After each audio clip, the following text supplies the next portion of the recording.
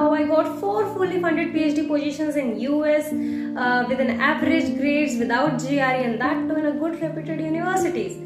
So I'm gonna share with you all the tips and tricks which I used and this is from my experience. So before the start of the application process you can do is uh, collect your certificate, give your IELTS, TOEFL, uh, collect your master's, bachelor's transcript in August. You can do is uh, start creating a resume, cover letter, shortlist university.